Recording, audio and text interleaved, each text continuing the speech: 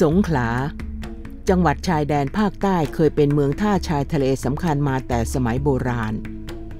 อารยธรรมรุ่งเรืองหลายศตวรรษรุ่มรวยด้วยมรดกทางวัฒนธรรมสืบทอดจากรุ่นสู่รุ่น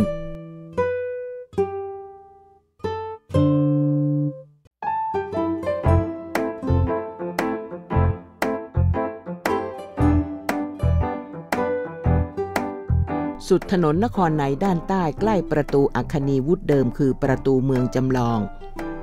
หนึ่งในสิบประตูเมืองสงขลาที่สร้างพร้อมกำแพงเมือง พันเมืองสงขลาฝั่งบ่อยางเนี่ยมีอาคารแบบพุทธ แบบมุสลิม แบบจีนผสมยุโรปที่เรียกว่าชิโนยูโรเปียน ไม่ต่ำกว่าร้อยสองร้อยหลังนะครับประติมากรรมเหล่านี้ มันเป็นอาคารที่ไม่เหมือนกันแม้แต่หลังเดียว กลายเป็นเหมือนกับเมืองจำลองที่เป็นเมือง living heritage คือยังใช้ชีวิตรวมกันอยู่ตั้งแต่อดีตจนถึงปัจจุบัน ย่านเมืองเก่าสงขลา มีเส้นทางสัญจรหลักสามสายคือ ถนนนครนอก นครใน และนางงาม แหล่งเรียนรู้ ร้านค้า ร้านอาหาร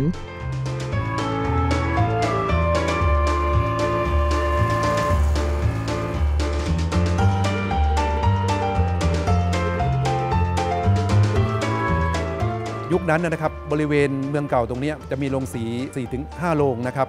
ข้าวตั้งคาบสมุทรสทิงพระหรือใกล้เคียงตรงนี้ก็จะมีเรือใบมามาสีที่ย่านสงขลาตรงนี้หมดเลย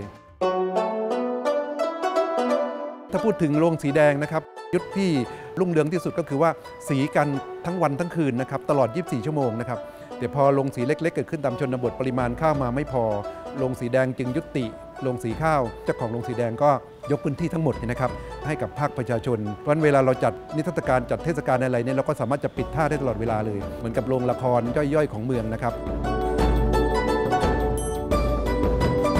พื้นที่เมืองปรับปรุงพัฒนาอย่างมีเอกลักษณ์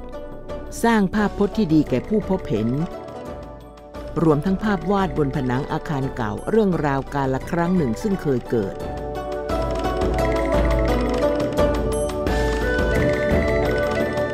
ภาพร้านกาแฟรถเข็นหรือร้านโกตุ้นเจ้าเก่ามีชีวิตจริงโลดแล่นในชุมชน ภาพสภากาแฟอดีตร้านกาแฟฟุเจ้า ภาพนางเอกนิ้วหลังศาลเจ้าพ่อหลักเมือง และภาพเด็กสามเชื้อชาติ ไทย มุสลิม จีน สื่อมิตรภาพคนหลากวัฒนธรรม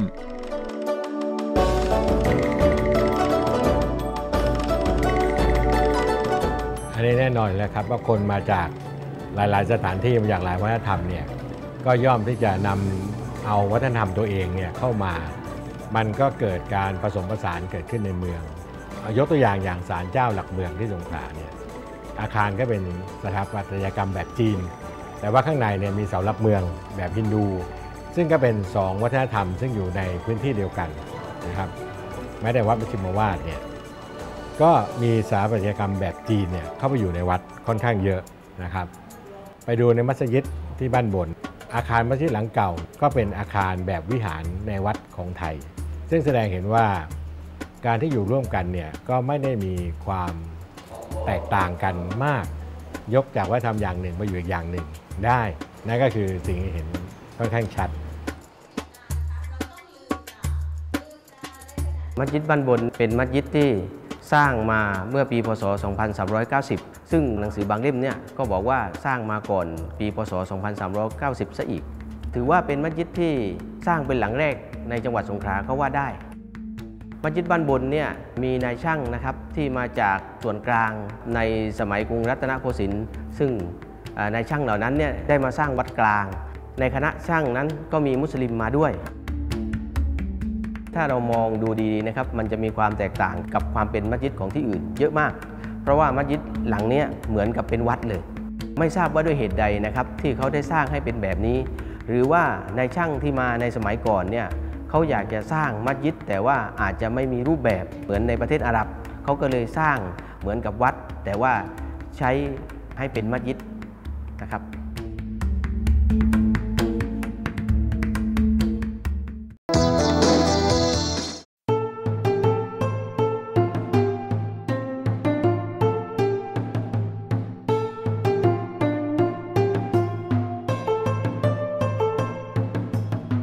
อดีตร้านยาสมุนไพรชาวไทยเชื้อสายจีนฮกเกี้ยนนามปู่ขวดทุมโคสิทธิ์เจ้าของฉายา ยาขอ หมอหวานร้านยู่เลี่ยง แม้ปิดกิจการหากยังคงสภาพร้านจีนโบราณไว้อย่างดี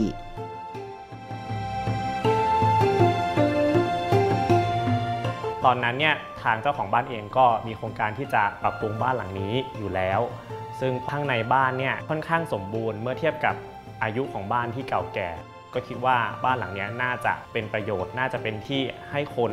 รุ่นหลังได้เข้ามาเห็นว่าสภาพแบบเดิมบ้านเนี่ยจริง ๆ แล้วมันเป็นยังไง ก็เลยขอดูแลบ้านหลังนี้จากเจ้าของบ้านที่มาปรับปรุงดูแลเนี่ยไม่ได้ทำอะไรใหม่มากเลย ก็เป็นแค่การเคลียร์พื้นที่ ส่วนที่ยังเก็บเอาไว้ทั้งแท่นบูชา ด้านหน้ารูปของเจ้าของบ้านเอง หรือแม้กระทั่งป้ายอักษรจีนยู่เลี่ยง เราก็ยังเก็บเอาไว้ อาคารแบ่งพื้นที่เป็น 3 ส่วนสัมพันธ์กันด้านการใช้สอย มีลานกลางบ้าน รับแดด ลมฝน ส่วนอาคารด้านหลังสองชั้นครึ่งเป็นที่พักอาศัย เราเนี่ยเพียงแค่จับจุดที่เป็นเรื่องราวที่เป็นประวัติเดิมของตัวบ้านมา เราก็เลยทำผลิตภัณฑ์ที่เชื่อมโยงกับเรื่องราวของบ้านนี้ขึ้นมา เป็นตัวทั้งยาดม แล้วก็ยาหมอง ผลพลอยได้จากการที่คนได้เข้ามาซื้อของฝากก็คือว่าได้เข้ามาชมบ้านหลังนี้ได้เห็นวิถีของคนจีนฮกเกี้ยนเดิมอะครับว่าเมื่อก่อนเขามีชีวิตยังไง มีความเป็นมายังไง บ้านนครนายอายุราว 300 ปีมีสองหลัง สถาปัตยกรรมบ้านไม้จีนโบราณ และบ้านตึกสีขาวแบบชิโนยูโรเปียน พิพิธภัณฑ์จัดแสดงของเก่าเก็บสะสมอันทรงคุณค่า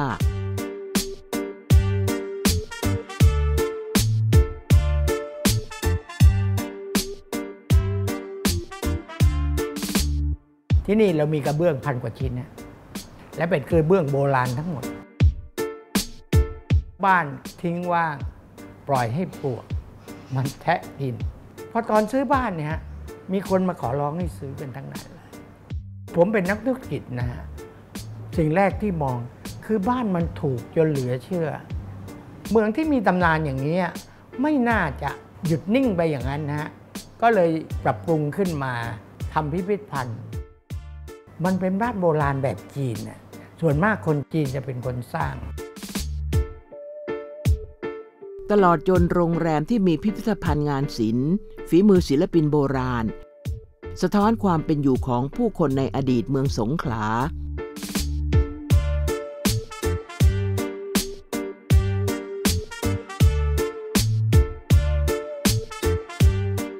บ้านสมมติว่ามันผุพังไป เราใส่หน้ากากให้มันเนี่ยนะ มาทำหน้ากากสวมเข้าไป มันเป็นบ้านโบราณที่สมบูรณ์อยู่แล้ว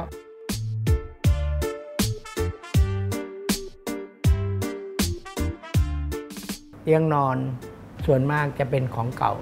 ร้อยเปอร์เซ็นต์เลย ใครมาพักแล้ว รับรองได้ จะมีความสุข มันเป็นความทรงจำที่จะไม่รู้ลืมครับ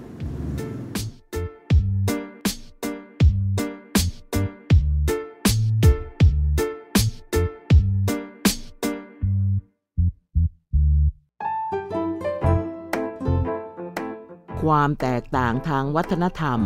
หากเชื่อมโยงผสานผสมกลมกลืนได้ จะบอกเล่าประวัติความเป็นมา และเรื่องราวของสถานที่อย่างดีเลยทีเดียว